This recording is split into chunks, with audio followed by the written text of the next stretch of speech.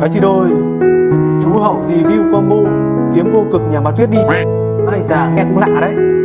Lạ thì lại phải review thôi.